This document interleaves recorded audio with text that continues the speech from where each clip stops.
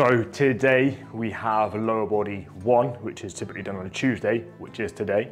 Um, and we're going to be doing some split squats. We have been doing RDLs up until this point, but I've got a bit of aggravation with my lower back, so we're going to swap that out for a lift with less axial loading, so not loading the actual skeleton, um, i.e. like spine, pelvis, ribcage. So we're going to get do some hip extensions um, and then finish with some accessory lifts. So what you're seeing now is the warm-up protocol, um, and obviously I default to the easiest way to facilitate that, which is ramp, raise heart rate, activate tissues you're going to be using, mobilize the joints, and then potentiate. So we've done the R, the A, the M.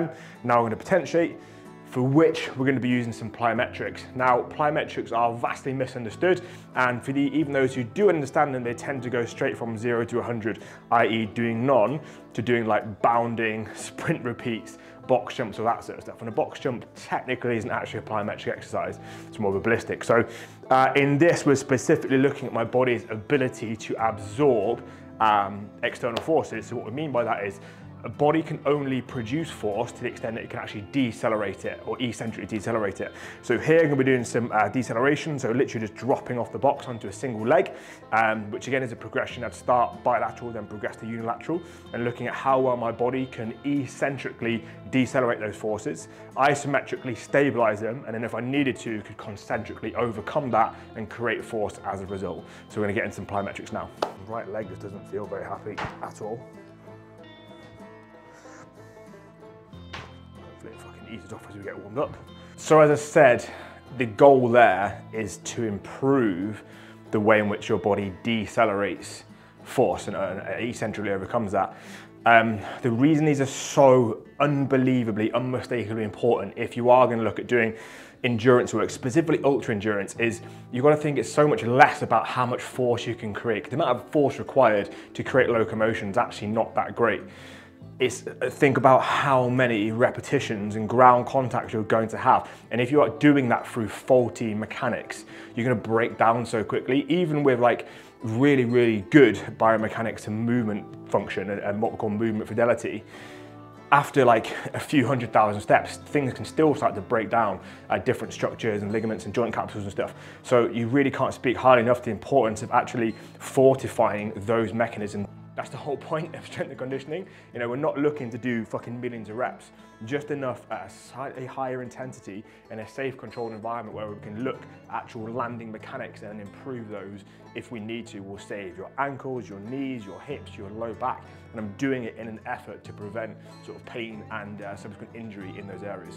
All right, so we've got three sets of four today. I fucking hate doing these. But I asked the question, I was like, um, what's the prognosis? Because I'm going to have to deal with this on the event. Like, we'll get it to a good place and we'll start strong. What's the prognosis? And he was like, oh, you can run on that for quite some time before you really start to fuck it up. He was like, so it's going to hurt and you need to be professional about it. But he's like, you're not going to, he's like, you're not going to be coming back in for surgery after you finish the event, touch wood. I was like, okay, well, that's good to know.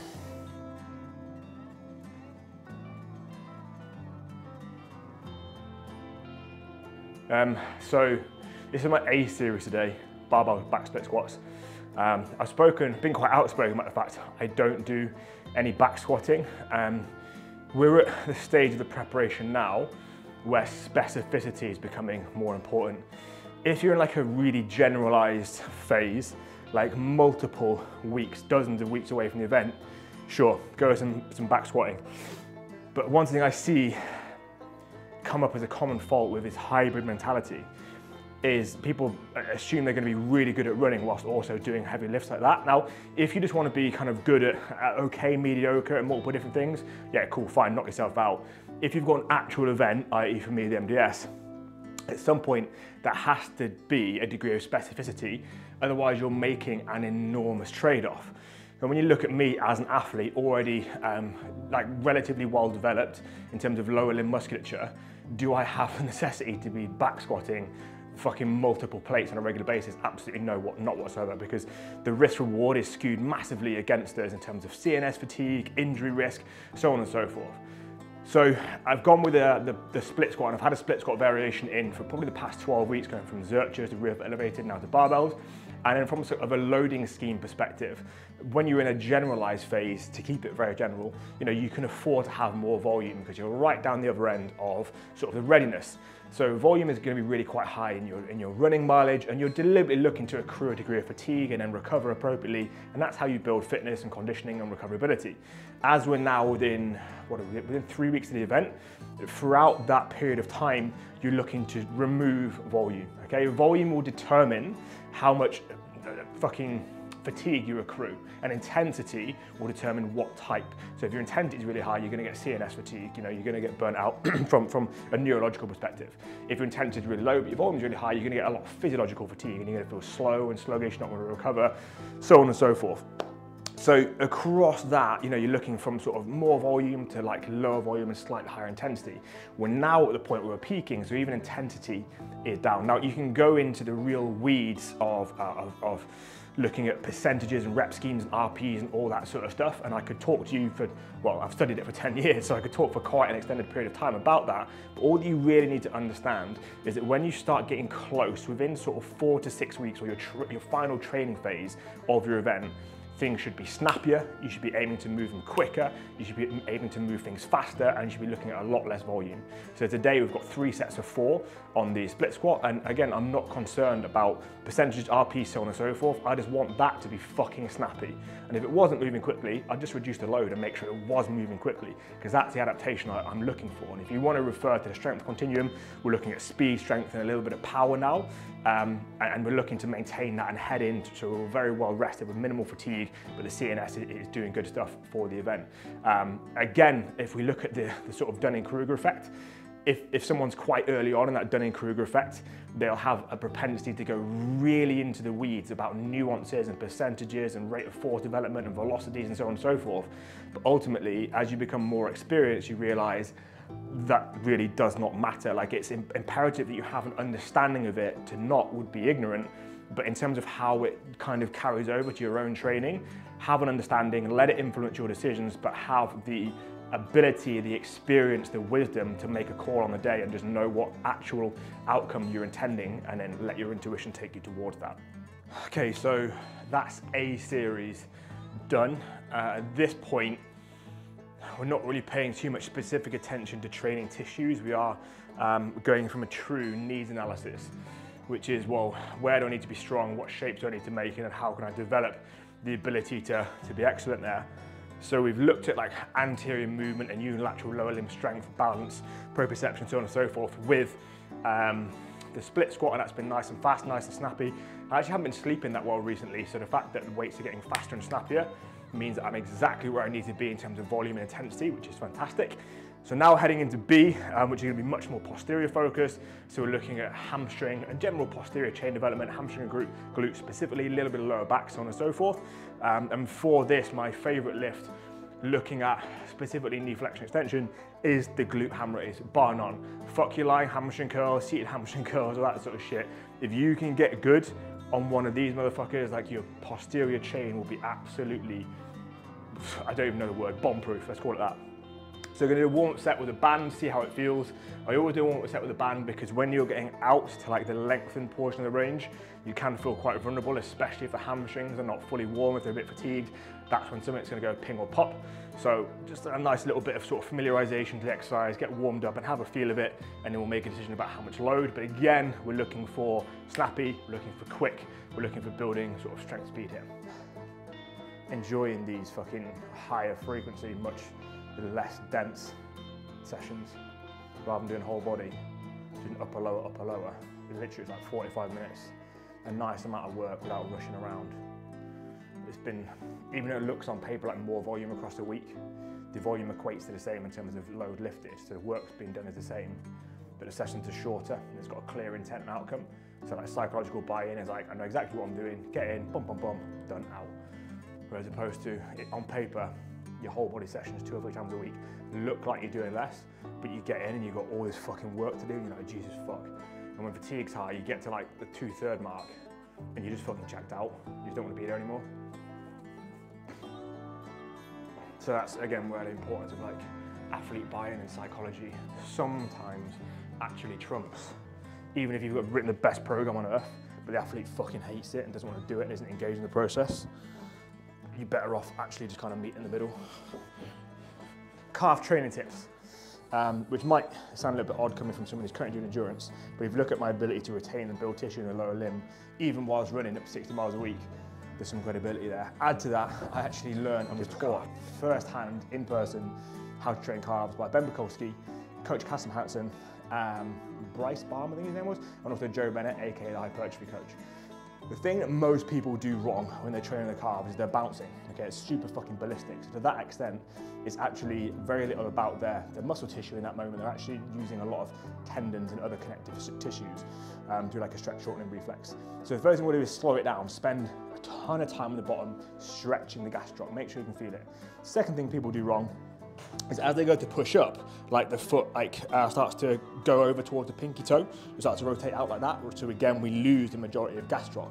So rather than thinking about going up, think about driving, like draw a dot on the front of your ankle and just drive that dot forwards.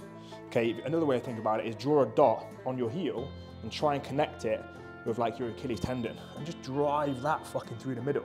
Even if you do that now whilst you're watching or listening to this, just stand in your living room, wherever the fuck you're watching this, even in your office, draw a dot and try and push that dot fucking far forward as you can. I guarantee you'll get cramp in your calf from how hard that fucking gastroc is contracting. Use that same cue under load, and I guarantee your calves will grow like a motherfucker. Try it. But again, if you speak to doing calisthenics and bodyweight stuff, most people are absolutely astonished that I'm like, I don't do any back squatting, any leg pressing. I'm like, if you can get really good at doing stuff like that, um, and recruiting and moving properly, the, your lower limbs will hypertrophy so much, like ridiculous, untold amounts. And I'm not one of those fucking hippie cunts who wears fucking no shoes in the gym and all that sort of stuff. But the reality is, like, if your if your fundamental human movement is very strong and robust, then you can express force at extremities of range, then you, you are going to hypertrophy like crazy. And your movement's going to get a lot better.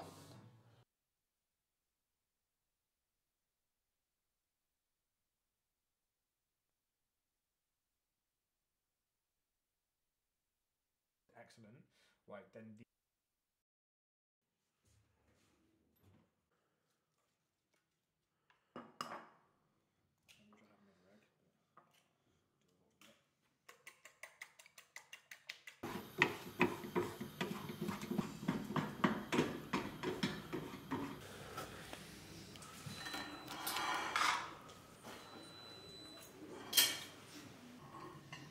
I want to do a little bit talking about, um, I guess, concurrently training for hypertrophy and strength and endurance. So, uh, as long as I can remember, it's been uh, a sentiment and a belief and almost an attitude in health and fitness that you can't concurrently, you know, build muscle and be strong and pursue endurance related goals. Now, the reason that I believe it's valuable to do the thing is because then it gives you a degree of experience about whether or not that's possible. I've known for the longest time that it is possible to maintain and build muscle and definitely to improve strength and power whilst improving aerobic fitness and anaerobic conditioning. You've only got to look at, you know, rugby players as a fantastic example of that but I was curious about whether or not it's possible in ultra endurance.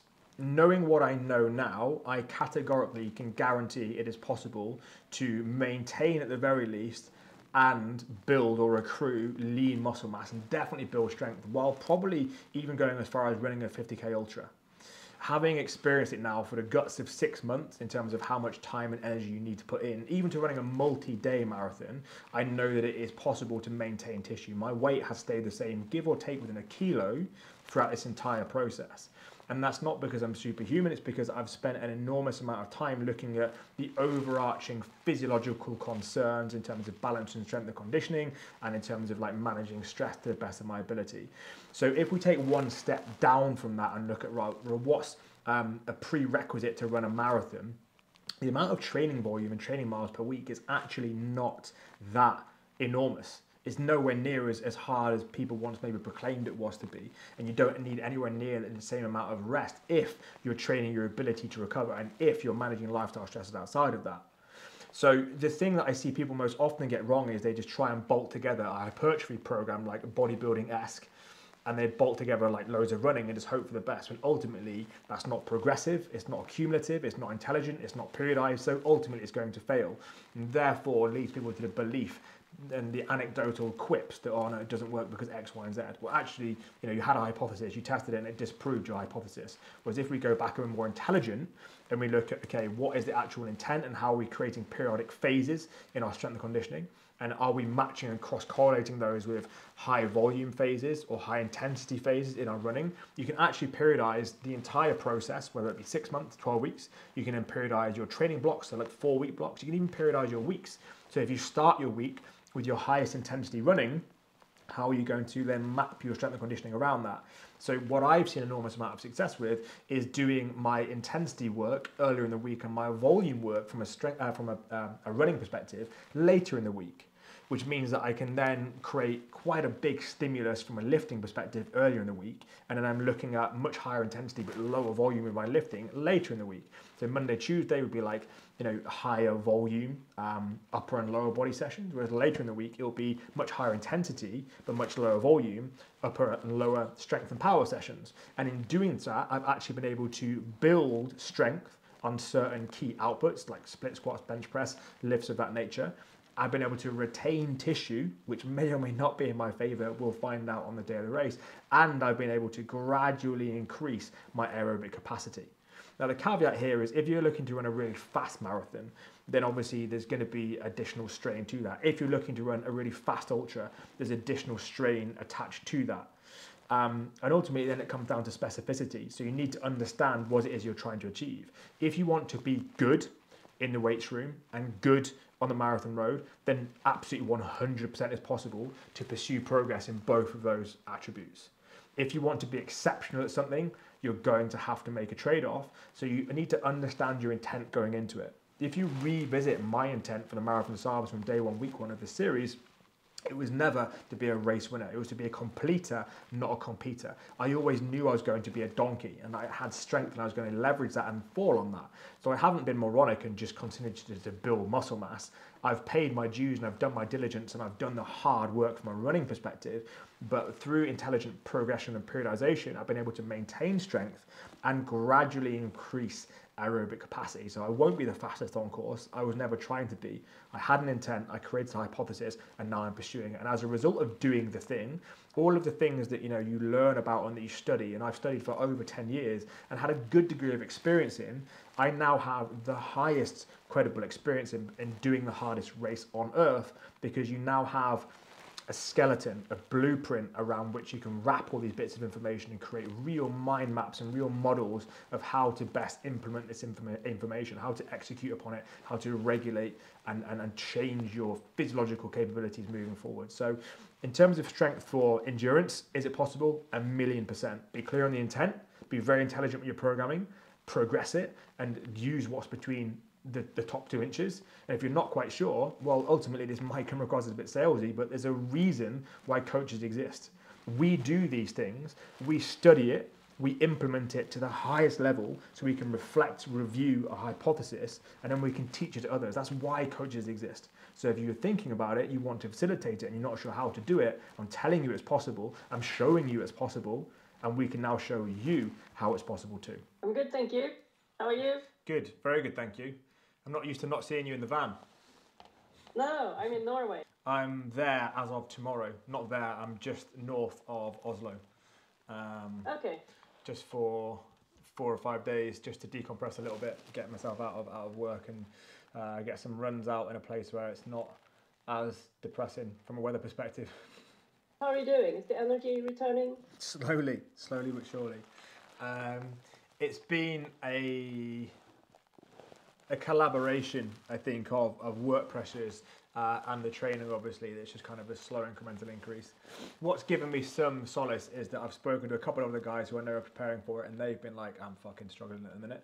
Um, and I was like, well, I was supposed to struggle, and it's, it's finally hit me. I think we've done pretty well to get to this point before I've been like, fuck, I'm really tired.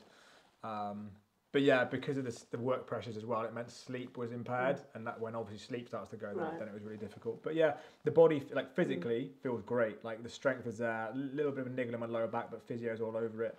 Um, strength's there, and like I feel fit. I'm just tired. Um, and I think, as I said, it's more work. Coming towards the end of the quarter, I think it was more that than anything else, if I'm honest.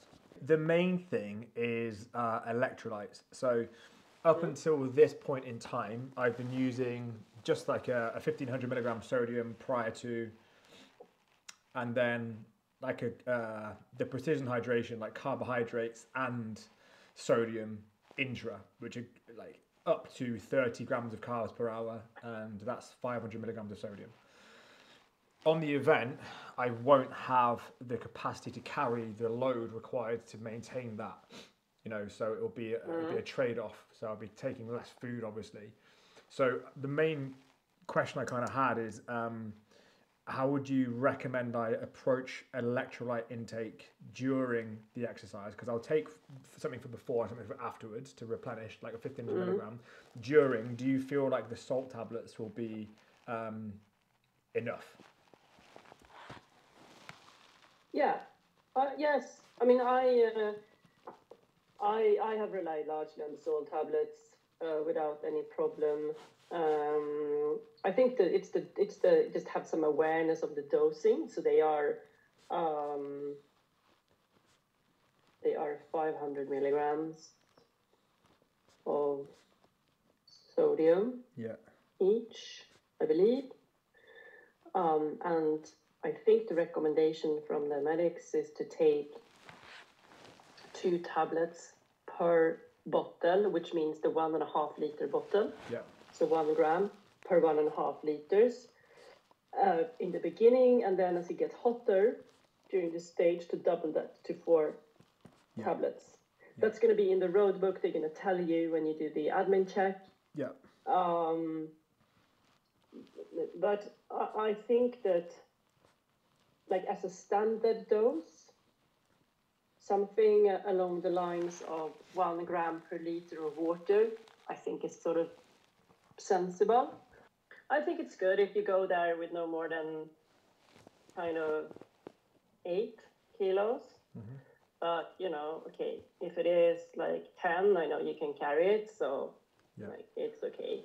Um, I think it comes down to a little bit how much food you think you're going to take, Yeah. because the food is going to make up the biggest part. The rough working calculation I've got at the moment, I think my food came in at 5.3, and that was that was averaging 3.4 calories per day. So a considerable amount, and I managed to get it down to 5. Point, yeah 5.4 kilos. As I said, I've invest I've invested in um, like good kit with my sleeping system. Like something, my sleep mat isn't like a, a, an air mat, one of the um, fucking what's that brand? Thermarests. Like my sleeping Yeah. my sleeping bags, one of the Yeti ones. Coat is Yeah. like 180 grams. So other than the um, the mandatory kit which they make you carry, there's not like I, I'm confident I can probably get it under nine. I think. I think so. Um, I think so. I'm, I'm like Yeah. all right, I'm pretty pretty happy with everything. So what I'll do is in this meantime I'll go away and just just get the, this tapering done, um, get my kit figured out, weighed in, and then even if we just have a catch up and then, and then we'll go from there. But I feel as confident as I'm able to be at this moment. I believe that we've prepared appropriately. I believe I've prepared my mind to the best of my ability. So now it's just a case of let's fucking find out. Let's see what it's all about.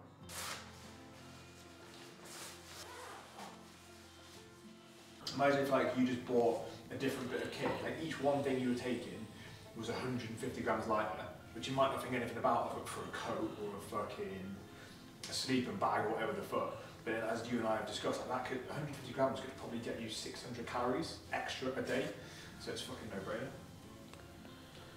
So just getting ready for actually the first run of this week. Um, recently we've been running Saturdays, Sundays instead, so Monday is off from running. So today is five miles or 8k with strides. Uh, for those of you unfamiliar what strides are, they're a way in which we can allow ourselves to experience higher speeds in a run and therefore improve form without necessarily accruing any additional fatigue. So stride is literally going to be anywhere between 20 and 100 meters where you open your legs up to a fast but not maximal pace and then come back down, recover and repeat. So it's not quite interval training, it's literally just enjoying running fast for a little bit and then going back down to a really steady pace. So five miles, steady pace. I'll do about six strides um, and hopefully not get too wet.